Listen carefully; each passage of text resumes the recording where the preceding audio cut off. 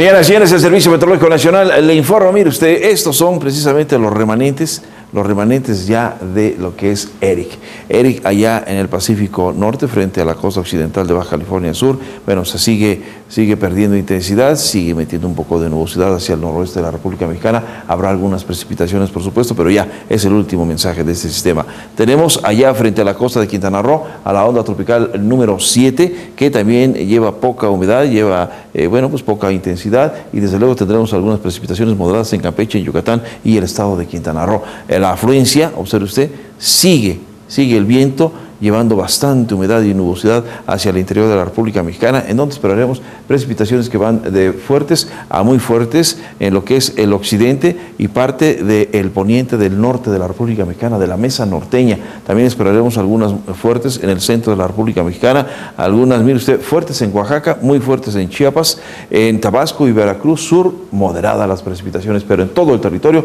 bajo condiciones de precipitaciones en las próximas, en las próximas eh, horas. Eh, por otro lado, mire usted, Chantal, muy retirado de las costas mexicanas, sigue ya un viaje hacia el noroeste, eh, con tendencia a irse hacia la isla la Española y más tarde hacia el oriente de eh, Cuba y posteriormente irá hacia lo que es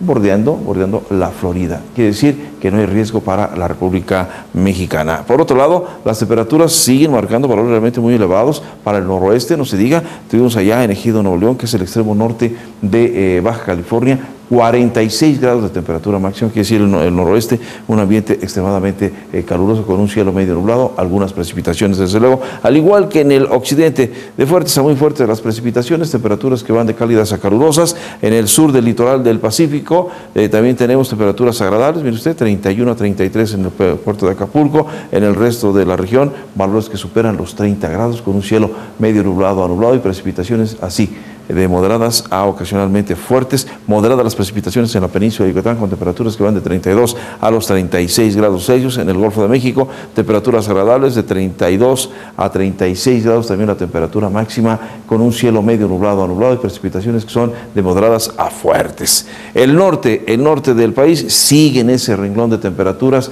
de cálidas a muy calurosas, eh, las precipitaciones también están marcando en lo que es Chihuahua y el estado de Durango muy pero Zacatecas, Aguascalientes, San Luis Potosí, esperaremos precipitaciones eh, fuertes en el transcurso también del próximo eh, periodo. Para lo que es el centro, centro de la República, medio nublado a nublado la mayor parte del día, precipitaciones por la tarde que van de moderadas a fuertes, temperaturas que van de templadas a cálidas y desde luego habrá algunos puntos en donde pudieran llegar a ser calurosos los valores de temperatura en el centro del país. Este miércoles, jueves y viernes en la Ciudad de México tendremos temperaturas que van de 25 a 26 grados, el valor máximo, el mínimo de 12 a 13 y el cielo nuevamente medio nublado, parcialmente soleado por la mañana y por la tarde se incrementará la nubosidad, esperando algunas precipitaciones que pueden llegar a ser de moderadas a fuertes, acompañadas de actividad eléctrica. Es lo más importante que le tenemos a usted desde el Servicio Meteorológico Nacional.